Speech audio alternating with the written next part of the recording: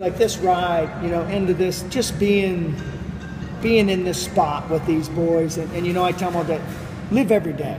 You know, I didn't take this spot for for the spotlight. I didn't take it for the me.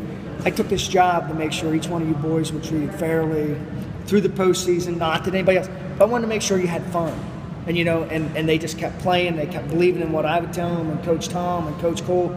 We all just, you know, we get on the ship, and after like the first district game, and as through, and then when we get up to here, this is this is big time. You know, these kids when you're raised in a small town of, of Clinton County, this is this is New York City lights. You know, this is this is the big deal. And, and you know, it took them a little bit to get adjusted, but but once we, we started getting adjusted and we started playing ball, you know, the kids played well. You know, hats off to them. You know, we're going to keep on playing. We're going to keep on, you know, we're going to find something to get into. But this week was absolutely, it's life changing for everybody.